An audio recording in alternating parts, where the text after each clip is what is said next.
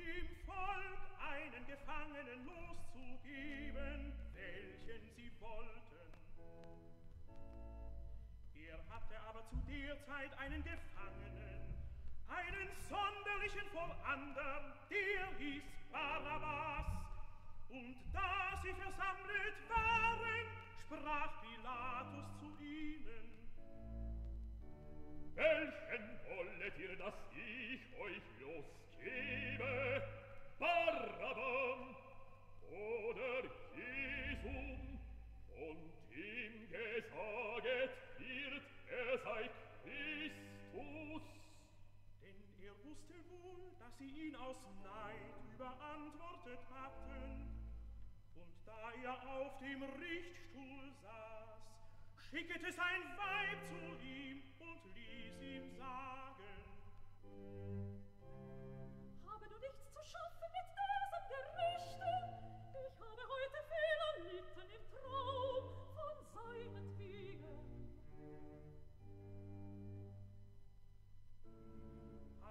hohen Priester und die Ältesten überredeten das Volk, dass sie um Barabbam bitten sollten und Jesum umbrächten. Da antwortete nun der Landflieger und sprach zu ihnen, Welchen wollt ihr unter diesen Zweien, den ich euch soll los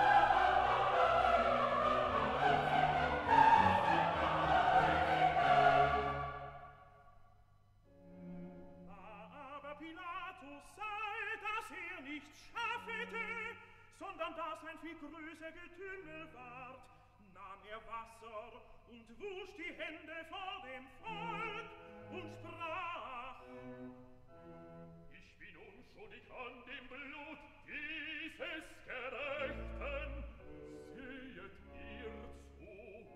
Da antwortete das ganze Volk und sprach,